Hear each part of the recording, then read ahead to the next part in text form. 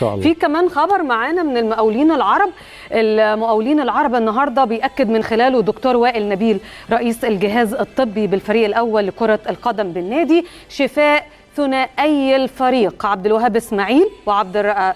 وعبد الرحمن فاروق من الإصابة اللي لحقت بيهم خلال الفترة الأخيرة مع التجارب الودية. كانوا بيلعبوا تجارب ودية لعبها الفريق عشان برضو كان بيستعد لاستئناف مسابقة الدوري اللي بدأت من يومين.